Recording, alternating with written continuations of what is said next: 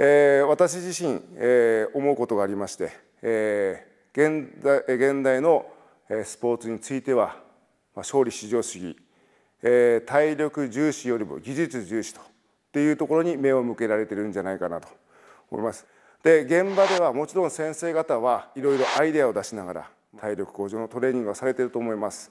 えー、ただし指導に専念するあまりに、えー、なかなかそこまで余裕があるっていう現状でもないではないかなと思います。でそこで私はここで紹介したいのは、えー、短時間で、えー、効率よく、えー、さらにフォーム、えー、筋肉への正しいアプローチをすることによって身体能力を引き出すえトレーニングをえここでご紹介したいと思います。